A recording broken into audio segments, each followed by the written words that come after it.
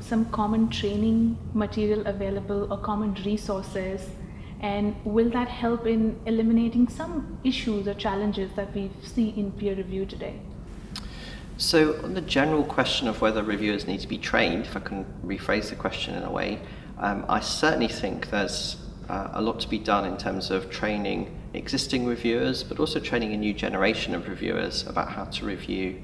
Um, I don't know whether a shared common resource is necessary, necessarily the best way forward, um, but certainly training needs to be done, and I don't think anyone's in doubt about that. So, just as an example, um, peer reviews, surveys of peer reviewers have shown that peer reviewers, even the most well established ones, the ones with the longest experience in peer reviewing, could do with some training and they, they would appreciate training.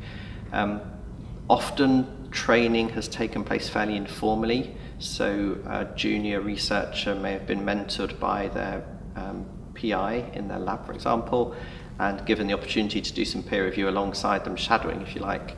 Um, I think we are probably we probably need to think, um, and I put myself in the position of publishers, but also um, managing editors of journals as well. We probably need to think about how we can train the next generation of reviewers in a more formal way, perhaps.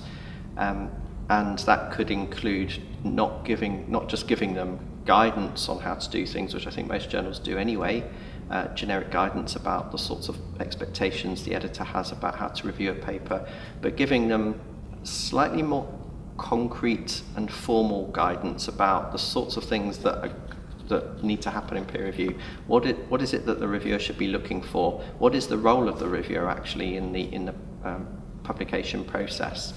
Um, and that could include anything from uh, dealing with ethics through to dealing with um, the quality of the methodology in a manuscript. Is, is the science reproducible? Is there enough information to make the, the paper reproducible?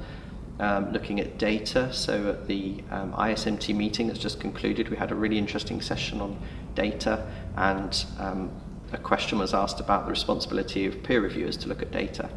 Um, so there's there's a whole load of questions there that I think we need to, uh, as a publishing industry and also as managing editors of journals, need to think about in terms of training up um, the, the next generation of reviewers. So, what, according to you, is the first step in this direction? The first step, I think, would be to.